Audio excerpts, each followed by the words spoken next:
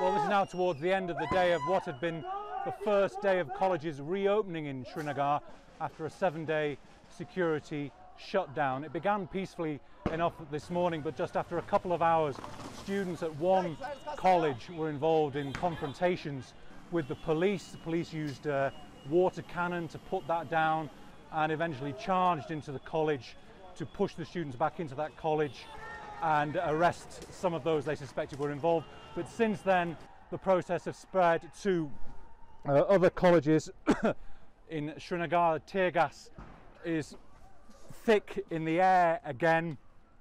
Protests really citywide and very unusual that students are involved. This normally happens after Friday prayers, but students have become involved in these protests because of a, a police raid on a university campus last week. That has really aggravated people, students particularly, and brought them out onto the streets. Normally, this happens after Friday prayers. It's very rare that students are so involved.